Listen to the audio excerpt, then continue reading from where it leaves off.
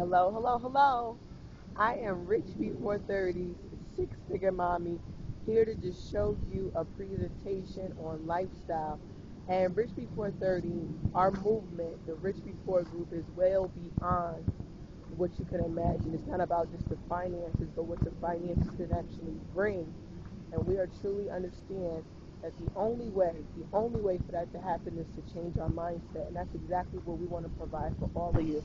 Just to give you a taste of what it means to be rich before your group.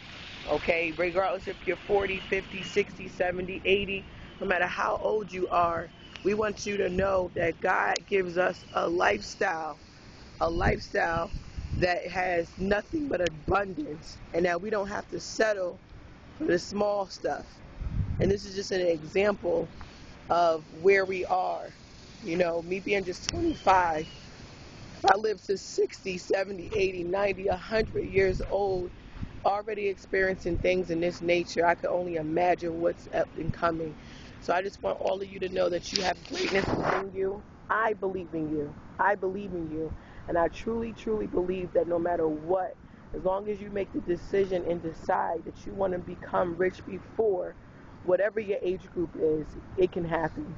And it starts right up here. See at the top.